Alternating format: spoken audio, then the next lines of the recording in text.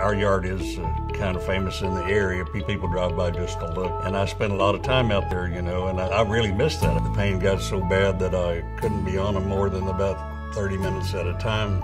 After 25 years of living in pain, I can walk without pain in my knees. The rest of my body's still 77, but I got brand new knees and they work great. And I'm so thankful, very appreciative of the people at Tulsa Bone and Joint.